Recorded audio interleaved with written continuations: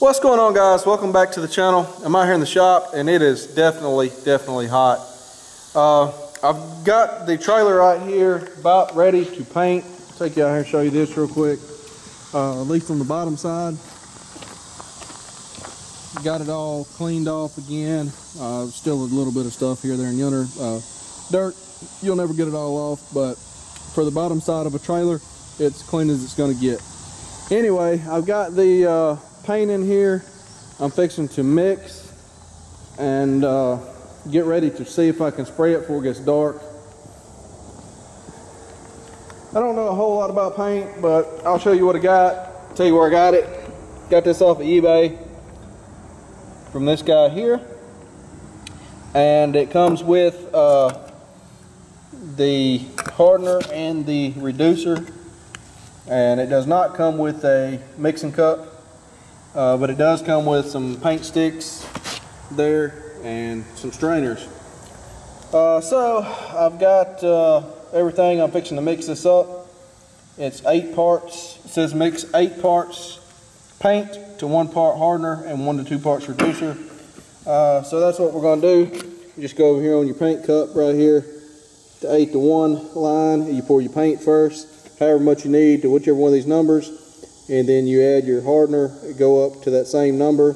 So if you want nine paint you go to nine there. And then you put your uh, reducer in and going up to nine. Uh, anyway not too big a deal. So I'm gonna do that and uh, get everything set up set you guys up and then we're going to try to get a little bit of paint on this project uh, this afternoon at least on the bottom side to be drying. Man it's so hot out here. Uh, I don't know how this is going to work, but I'm going to try to get this uh, get this done. So I'm going to set you guys up over there, and uh, we'll get started. Oh man, step one is you got the jug and uh, stir the paint up.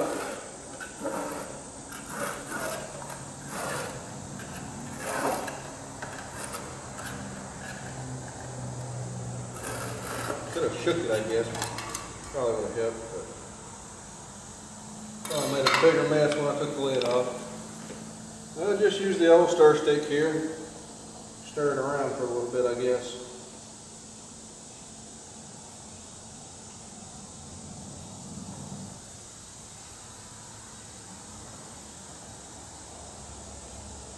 I don't know how good a paint this is as far as quality wise compared to say Rust-Oleum or whatever. I'm hoping it's better because it's about three times as expensive. This is what I could have got Rust-Oleum for. I think Rust-Oleum is about 30 something dollars a gallon and this is like a 100. So I'm hoping it'll last a lot longer than what uh, the Rust-Oleum does that, that most people use. But whether it does or not, who knows. Anybody knows anything about paint, leave in the comments let me know your experience with uh, this paint. If you've got something you painted with this paint or something like it,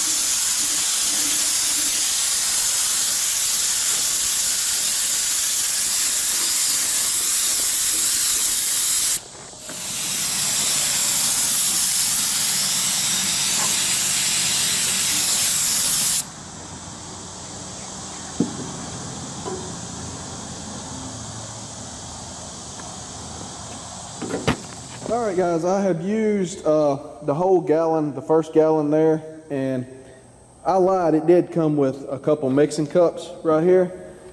I didn't dig far enough in the box to find them, but uh, it actually does. This kit actually does come with two mixing cups, apparently. But I had another one anyway, and I didn't see one when I first opened the box, so I thought it didn't come with some. Uh, so, anyway, I used that one. But I like a little bit on the bottom side out here. I'll take you out here and show you what I like. I had to wait and late to, uh, wait till it cooled off some last night. It's so hot out here that you can see some of the spots I've missed and whatnot. It is on the bottom of the trailer, so it's not that big a deal. And it doesn't have to be a, you know, a perfect 100%, you know, coverage. You just want to keep the rust down. So uh, I'm going to mix up a little bit more. The top side I'm thinking shouldn't take as much as the uh, bottom is because the bottom's got all those beams and stuff and the top really just has the side rails and the neck and the plates over the fenders. So I'm gonna mix up some more and spray that and it's hot out here but I'm gonna do that and then uh, we'll go from there. All right guys, so I uh, painted some more on it and I still missed a few spots believe it or not but I think I'm gonna call it good enough and I'm going to go ahead and put the uh, at least four tires on here because as I say I don't have the valve stems for the others. But uh, turn you around here and you can see there's still a few spots here there and yonder. That's a whole lot better than it was. But I'm going to put four tires on it I think and go ahead and see if I can flip this thing back over and I was going to work on the wires and stuff but I think I can probably just get this thing flipped over, get some tires on it, and I'll be able to back it in the shop and I can lay on a creeper and do, uh, fix those wires and stuff down there. I want to go ahead and uh, get it flipped back over so I can uh, steam clean the top side and paint the top side and let it be dried before we have the next rain come in. So I think that's what I'm going to do.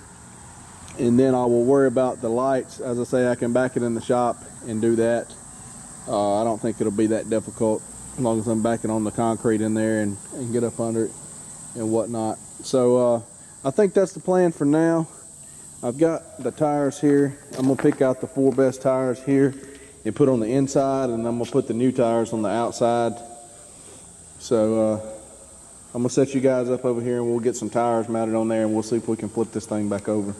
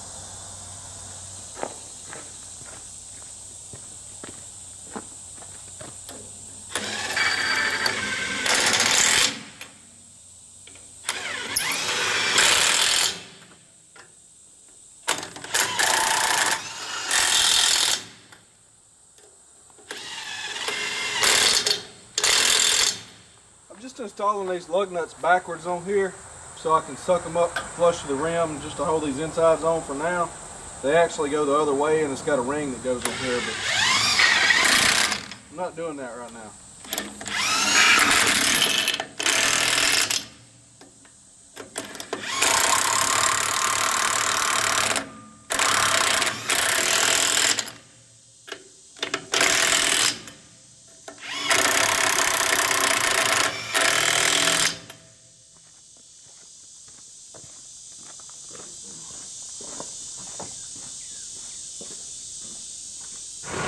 All right, guys, time for the moment of truth if I can turn it back over.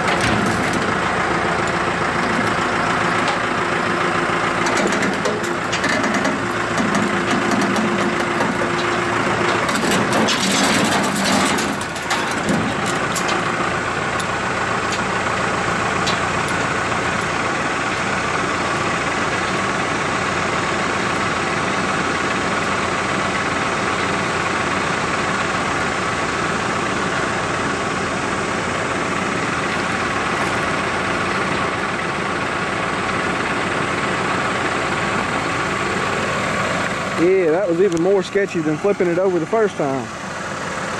I almost ran out of room here. I'm up against my, my pickup over here. And if you could see in the video, the left rear tire of the tractor was off the ground a good portion of the time. Did get it flipped back over though.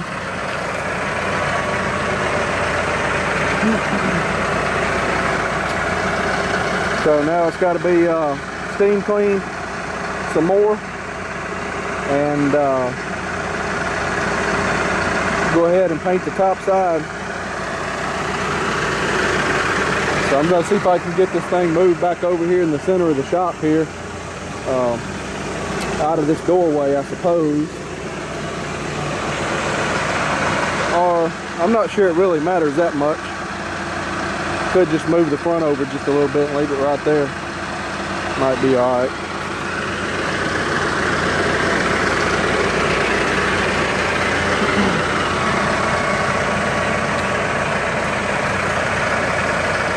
Well, she's flipped back over. I'm to leave it right here in the middle of this bay door because uh, I can't pull anything in the shop anyway. I have so much junk in there, so it's not really hurting anything. Uh, looking at the tires here, the top of the tires, I've got about four inches uh, on top of them here with the suspension almost all the way down right there, as you can see. Oh, it's uh, pointed uphill this way. So we'll check that out again whenever we get it uh, in the shop and leveled out and we'll check and see how much clearance we got I'm thinking we're gonna have around five inches. and We'll check the uh, the deck height on it and everything uh, once I get to the point that we can get it in the shop and, and get everything leveled out. But right now, what I want to do is steam clean all this, get all the dirt, uh, loose paint and everything off, and then we're gonna come back and paint the top side of uh, this here that I couldn't get to and everything and finish that all up. And uh, then we will uh, probably start working on the lights and the brakes, get the brakes wired up. I haven't wired those up yet. And uh, then we'll get back to it from there, I guess. All right, guys, so I've got the trailer prepped for paint pretty well, uh, as best it's gonna get anyway. I've got it steam clean, removed all the, the loose paint and uh, everything. So I'm gonna try to get some paint on this thing while it's hot outside so it can dry. We got some rain supposed to be coming in this afternoon. So uh, I've got the hitch here as well and the ramp bars that are built. Got to get the paint mixed up, get it on there. Hopefully we have a good five or six hours for it to dry enough that the rain uh, that's supposed to be coming this afternoon, whether it actually gets here, it may be late. But uh, I'm gonna get some paint on this so we can be drying and curing, and then uh, we'll be ready to uh, finish the rest of it, hopefully next weekend maybe.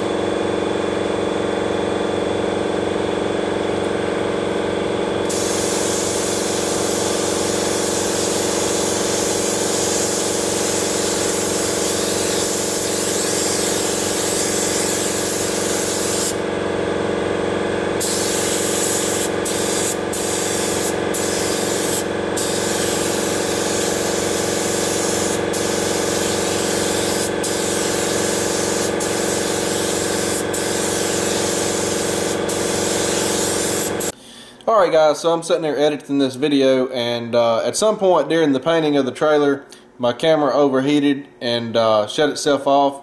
So that's all the footage that I was able to recover is right there where, where this clip ends. So I guess I'm going to go ahead and wrap this video up.